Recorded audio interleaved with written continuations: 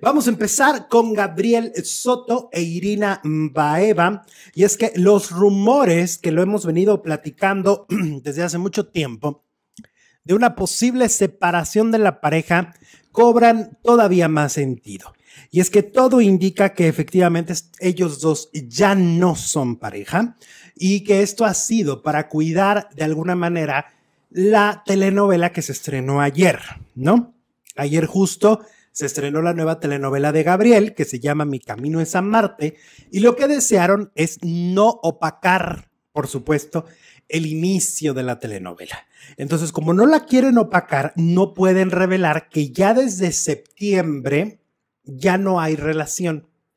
Según los detalles, parece ser que desde septiembre la relación se rompió, se les acabó la, la, la, mm, o más bien se acabó la rutina la relación. La relación se acabó porque al parecer ellos como que ya, como que ya, ya. Se acabó la llama, ¿no? Sí, sí, sí. Y entonces al momento de, de, estar viajando tanto, trabajando tanto, de separarse tanto, como que ya fue como de, ay, pues ya, vamos. Pero que ella sí ha sufrido.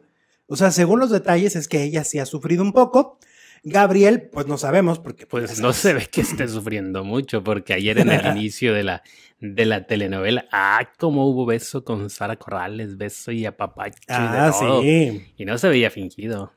No, Sara lo niega, ¿verdad? Ya lo decíamos ayer, Sara sigue negando que haya una relación entre ambos. Pero bueno, parece ser que lo negaba al principio, ¿no? También, También, por supuesto. Entonces Gabriel e Irina, pues entonces nunca habrían llegado al altar. Este, tú, tú sabes pues que esta boda se pospuso y pospuso 40 mil veces. Como hace como cuatro o cinco meses todavía hablaban de que no, que iba a haber boda y que. Pues también con, eh, con Geraldine la boda ya fue cuando ya no se querían tanto, ¿no? Regresaron por la enfermedad de él. Ajá. Pero también ya habían terminado. Entonces, como que le hace la lucha hasta el final, el buen Gabriel, ¿no? Sí, y de alguna manera, pues se repite la historia, ¿no? Un poco. Ayer nuestros baranduleros en la encuesta decían, ¿no? Así de que, no, pues es que de alguna manera como que la, vida es un boomerang, ¿no? Y puede ser que aquí se vuelve a repetir la historia, ¿no? El caso es que, según los rumores, ellos ya no son pareja y bueno, pues la orden viene desde altos ejecutivos de Televisa de no pueden revelar porque van a, van a desviar la atención. Entonces ya la gente no va a poner atención en la telenovela que es la gran apuesta de fin de año, le van a poner atención al rompimiento.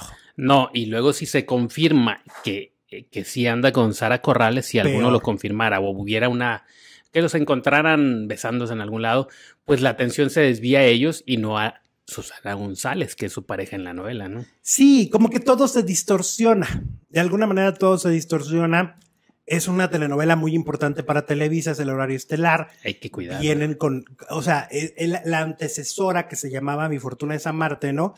Del mismo productor y con la misma protagonista tuvo un éxito brutal en Estados Unidos y en México y quieren que esta tenga el mismo éxito. Entonces, eso es lo que están buscando, que, que no se desvíe. Y es que sí pasa, o sea, sí, sí cuando los escándalos son muy fuertes pueden opacar. Vela de novia era una mala telenovela, me acuerdo a, principios de los malísima, Malísima, Era mala, pero, pero, los rompimientos y escándalos que hubo dentro de la telenovela. Es lo que se le recuerda. Se le recuerda más. O sea, entonces, tanto lo de Juan con Niurga como lo de, como lo de Santa Marina con Itatí, ¿no? Entonces, yo creo que eh, eh, tienen razón, tienen razón, cada quien cuida su producto